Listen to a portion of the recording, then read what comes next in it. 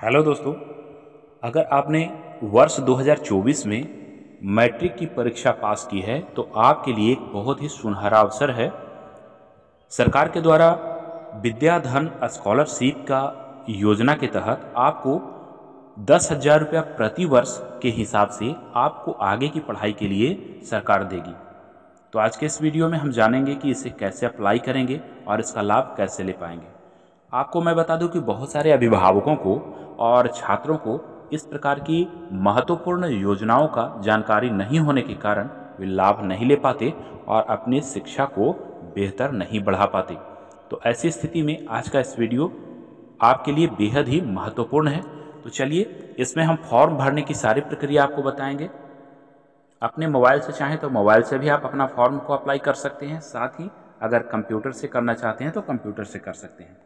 तो फॉर्म भरने से पहले आपको कुछ इसके जो स्कीम का लाभ लेने के लिए कुछ पात्रताएँ हैं, आप उसे देख लें ताकि आपको आगे परेशानी ना हो। सबसे पहले, पहली बात इसमें तो है कि इस स्कॉलरशिप को भारत के लगभग 16 राज्यों में इसे चालू किया गया है, जिसमें झारखंड, बिहार भी शामिल है। तो 16 राज्यों में यह लागू किया गया है। दस हज़ार रुपया प्रति वर्ष आपको मैट्रिक की परीक्षा पास करने के बाद आगे की पढ़ाई के लिए निरंतर मिलती रहेगी। अब इसमें दूसरी बात क्या है? इस स्कॉलरशिप का लाभ लेने के लिए आपको जो मैट्रिक की परीक्षा दसवीं आपने पास की है तो उसमें आपको पचहत्तर प्रतिशत मार्क्स होना चाहिए। अर्थात सभी छात्रों को इसका लाभ नहीं मिलेगा, जिनका मार्क्स 75 परसेंट से एवब है तो ऐसे छात्रों को सरकार उच्च शिक्षा के लिए सहायता करेगी। लेकिन दिव्यांग छात्रों के लिए मात्र पैंसठ प्रतिशत अंक ही अनिवार्य हैं। दिव्यांग छात्र अगर हैं तो पैंसठ प्रतिशत मार्क्स अगर लाए हैं तो उन्हें इसका लाभ मिल पाएगा। इसके बाद जो है वो आगे इसमें कुछ और क्राइटेरिया लागू की गई है कि जैसे आपके परिवार का इनकम आय जो है, वो दो लाख रुपए वार्षिक से अधिक नहीं होना चाहिए। अर्थात ये गरीब छात्रों के लिए सरकार का स्कीम है विद्याधन स्कॉलरशिप योजना। तो इसमें दो लाख से अधिक का आय नहीं होना चाहिए प्रतिवर्ष। तो इस प्रकार से अगर दो लाख से कम का आय है तो आप इस योजना का लाभ लेकर अपना आगे की पढ़ाई को बढ़ा सकते हैं। अब बात कर लेते हैं कि इसमें किन किन दस्तावेजों की आवश्यकता होगी।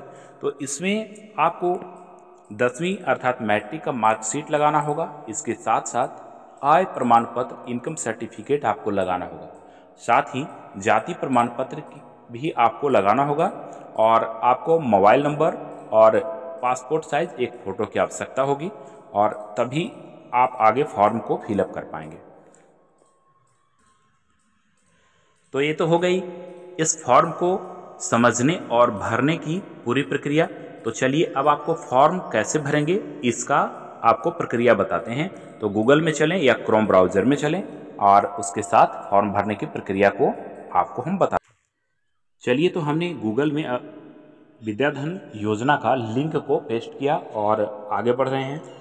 आपके स्क्रीन पे भी हम ये लिंक देते रहे हैं। यहाँ से आप नहीं अगर लिख पाएँगे, नहीं कंट्रोल कर पाएँगे तो आप डिस्क्रिप्शन में हम दे रहे हैं। वहाँ से सीधे कॉपी करके आप गूगल में पेस्ट कर लीजिएगा। तो अब आप देखेंगे कि इस प्रकार का आपके पास फ्रंट ओपन होगा। तो अब नीचे सबसे नीचे की ओर अगर आप आएँगे तो आप नीचे की ओर देखेंगे कि अप्लाई नाउ यहाँ पे ऑप्शन आ रहा है। तो आपको सीधा अप्लाई नाउ पे क्लिक कर देना है। आप जैसे ही अप्लाई नाउ पे क्लिक करेंगे तो आपके सामने कुछ इस प्रकार के फिर से एक पेज ओपन हो जाएगा। इसमें क्या है कि फ़र्स्ट नेम यहाँ डालना है लास्ट नेम डालना है और ईमेल आपको यहाँ यहाँ पे ईमेल लिखना है। और उसके बाद यहाँ पे सेलेक्ट कर लेंगे Gmail dot com Yahoo dot com जो भी होगा उसे सेलेक्ट कर लेंगे और उसके बाद एक पासवर्ड बनाना है यहाँ पे। तो पासवर्ड आप बना लेंगे और उसके बाद रजिस्टर पे क्लिक करेंगे। हम चलिए बनाते हैं। इस प्रकार से हमने अपना डिटेल भर लिया और पासवर्ड बनाते समय एक बात का ख्याल रखना है कि आप सबसे पहले कैपिटल लेटर देंगे, उसके बाद स्मॉल लेटर देंगे और कुछ सिंबल का प्रयोग करेंगे। इसके साथ साथ कुछ अंक का प्रयोग करते हुए रजिस्टर पे आपको क्लिक करना है। तो आपने देखा कि यहाँ पे एक हमने अच्छी तरह से लॉगिन का प्रोसेस जो है उसे पूरा किया है और यहाँ पे आईडी पासवर्ड मेरा जनरेट हो गया है। अब यहाँ पर आप देखेंगे कि हमने जो लॉग, यहाँ पे जो हमने जो दिया था ईमेल और जो पासवर्ड बनाया था, उस आईडी और पासवर्ड को यहाँ पे फिर से इंटर करके लॉगिन पे क्लिक करना है। यहाँ पे हमने अपना ईमेल और पासवर्ड जो अभी बनाया था, उसे इंटर किया और अब आगे बढ़ते हैं। अगर आपका प्रोसेस पूरा नहीं होता है, लिंक एक्टिवेट नहीं दिखाता है तो ऐसी स्थिति में आपको अपने ईमेल को ओपन करना होगा। ईमेल में जो मैसेज गया होगा तो उसके मैसेज में आपको लिंक को एक्टिवेट करना होगा। तो इसमें जो please activate your account by clicking here जो लिखा हुआ है, इस पर आपको क्लिक करना है। आप जैसे ही क्लिक करेंगे तो अब आगे आपका फिर से ईमेल आईडी और पासवर्ड आपका यहाँ पे मांगेगा।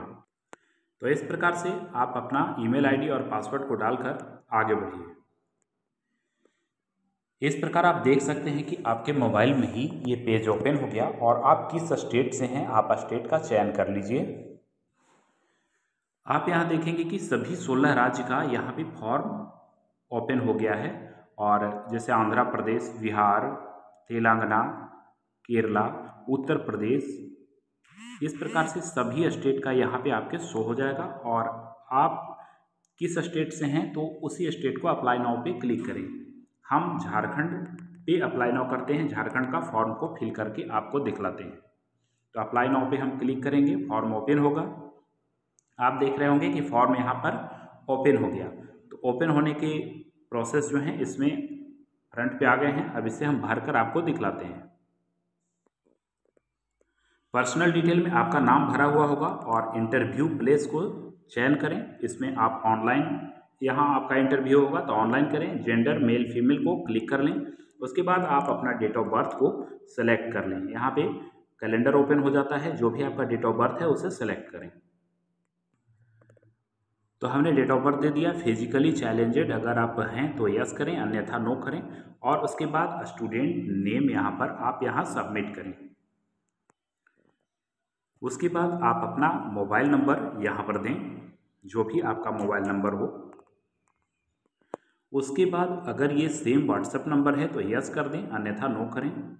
और उसके बाद अब आप अल्टरनेट नंबर भी यहाँ पे डाल सकते हैं। अगर नहीं आपकी इच्छा है तो न डालें।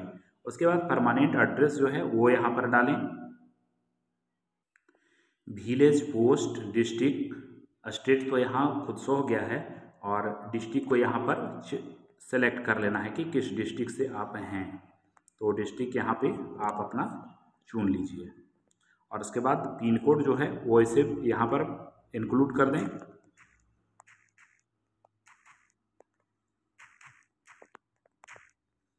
उसके बाद फिर से परमानेंट एड्रेस भी अगर सेम है तो इसी पे आप क्लिक कर लीजिए, वो खुद से फिल हो जाएगा। इसके साथ ही अब आपको फादर्स नेम यहाँ पे डालना होगा। फादर्स का मोबाइल नंबर यहाँ पर डाल दें और उसके बाद फिर वो करते क्या हैं? जो भी यहाँ पर आपके अनुभव से आता है, यहाँ पे बहुत सारे ऑप्शन आते हैं, उसे क्लिक कर लें। उनका एजुकेशन क्या है? तो जो भी उनका एजुकेशन है, वो यहाँ पे पोस्ट कर दें। आगे देखें मदर्स का नाम अपना डालें और उसी के बाद जो भी है, इनका मोबाइल नंबर भी आप यहाँ पर आपको देना होगा। इसके साथ ही ये करते क्या है? इनका भी जो है, आप जो भी करते हैं, यहाँ पे बहुत सारा ऑप्शन है। आप इसे यहाँ पे सेलेक्ट कर लें। उसके बाद इनका एजुकेशन क्वालिफिकेशन क्या है? अगर क्वालिफाइड हैं तो ठीक है, और नहीं क्वालिफाइड हैं तो नो एजुकेशन पे क्लिक कर लें। इसके साथ ही अब आपको अपना टेंथ का डिटेल्स यहाँ पे डालना है। आप किस इंस्टीट्यूट से आपने टेंथ किया है? मैट्रिक की परीक्षा पास की है। तो आप यहाँ पर अपना बोर्ड का यहाँ नाम डालें। उसके बाद फिर ईयर ऑफ़ पासिंग तो आप जिस वर्ष में पास किए हैं, हमने चौबीस, दो हज़ार चौबीस यहाँ पर डाल दिया है, किस स्कूल से किए थे? सरकारी स्कूल से पास किए हैं या प्राइवेट से किए हैं तो गवर्नमेंट स्कूल को हमने डाल दिया। मीडियम क्या था? हिंदी इंग्लिश तो हिंदी इंग्लिश जो भी था आपका वो डाल लें। उसके बाद फिर बोर्ड क्या था? सी सी बी एस ई था, झारखंड बोर्ड था या आई सी एस सी था। इस प्रकार से आप उसे डाल, आपने कितना परसेंटेज लाया है? तो यहाँ पे परसेंट आप डाल दें तो हम यहाँ पर सेवेंटी एट परसेंट डालते हैं। इसके बाद अभी यहाँ पे आप नेक्स्ट कॉलम में आएँगे तो यहाँ पे देखेंगे कि आपने इंटरमीडिएट की परीक्षा में साइंस आर्ट्स कौन सी फैकल्टी लिया है तो वो यहाँ पे डालें। उसके बाद पासिंग ईयर आपका कब होगा तो आप उसे यहाँ पर भर सकते हैं। तो चौबीस में आपने एडमिशन लिया है तो चौबीस छब्बीस आपका सेशन होगा तो उसे डाल लें। और उसके बाद कॉलेज का कॉन्टैक्ट नंबर यहाँ पर आपको डालना हो इंस्टीट्यूट का। जो भी है वहाँ डाल दें। उसके बाद किस मीडियम का है तो आप इसे हिंदी, इंग्लिश जो भी है वो सेलेक्ट कर लें। Type of institute government aided है या गवर्नमेंट है, जो भी है, आप इसे सेलेक्ट कर लें। और ये सेंट्रल बोर्ड है या स्टेट बोर्ड इसे सेलेक्ट करते हुए आगे बढ़ें। इंस्टीट्यूशन का नाम यहाँ पर डाल दें। उसके बाद जहाँ पे आपने एडमिशन लिया है, उस इंस्टीट्यूशन का यहाँ पे एड्रेस डालना होगा। इतना करने के बाद आपसे यहाँ पे फैमिली एनुअल इनकम यहाँ पे पूछा जा रहा है। तो आप दो लाख से नीचे के अगर रहेंगे तो भी तो ही आप इससे योग्य होंगे। इसलिए एक से दो लाख जो भी इनकम है उसे सेलेक्ट कर लें। उसके बाद फिर family members receiving Vidyadhan scholarship क्या आपके किसी फैमिली को विद्याधन स्कॉलरशिप अगर मिलता है तो यस लिखें, अन्यथा यहाँ नो लिख करके आगे बढ़ें। उसके बाद अदर डिटेल को हम देखते हैं। एक्स्ट्रा एक्टिविटी अगर आपका कुछ है, आपने किसी भी प्रकार का कोई एनसीसी वगैरह जो कोर्स होता है वो किए हैं तो यस करें, अन्यथा यहाँ पे नो करते हुए आगे बढ़ें उसके बाद अचीवमेंट आपका कहाँ, क्या, किस क्षेत्र में जाना चाहते हैं, वो यहाँ पे आप अप्लाई करें और उसके बाद फिर आपकी हॉबीज़ क्या है, वो यहाँ पर दे करके आगे बढ़ सकते हैं। कुछ एडिशनल अगर और इन्फॉर्मेशन देना चाहते हैं तो दें, अन्यथा इसे छोड़कर आगे बढ़ें।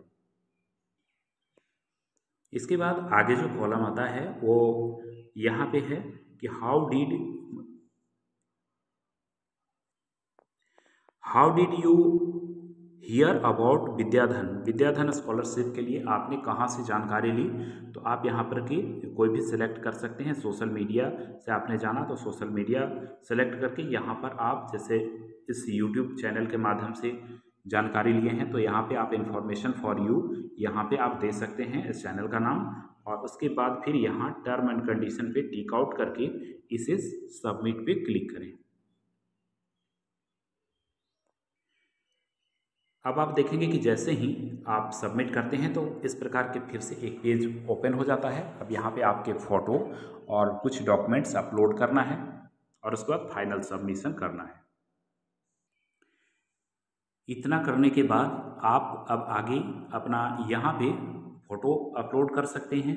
वो करना होगा, उसके बाद फिर ऐड डॉक्यूमेंट्स पे क्लिक करके जो भी इनकम सर्टिफिकेट है और जो भी डॉक्यूमेंट्स है, यहाँ पे आप सबमिट करेंगे। इसके साथ ही लास्ट में आप इसे फाइनल सबमिशन करके यहाँ पे प्रिंट कर लेंगे। प्रिंट या फिर अगर आपको कभी ऐसा महसूस हो कि फॉर्म भरने में कहीं त्रुटि हुई हो तो यहाँ नीचे के कोने में एडिट फॉर्म का ऑप्शन आता है। पहले आप इसे एडिट कर लें। इस तरह से आपका विद्याधन स्कॉलरशिप का फॉर्म फिलअप हो जाएगा। अब मैं आपको बता दूँ कि 15 जून तक इसकी अंतिम तिथि है। आप उस तिथि से पहले इसे फॉर्म को फिलअप कर लें और अपने ईमेल और मोबाइल नंबर पर लगातार देखते रहें। आपको सारे इन्फॉर्मेशन दे दी जाएगी और ऑनलाइन एग्ज़ाम की प्रक्रिया होकर आपका सिलेक्शन हो जाएगा और उसके बाद आपको दस हज़ार रुपये प्रति वर्ष के हिसाब से आपको शिक्षण प्रक्रिया को आगे बढ़ाने के लिए सरकार की ओर से दिया जाएगा। तो इस योजना का आनंद लें और अपने बच्चों का भविष्य बेहतर बनाएँ। और अगर आप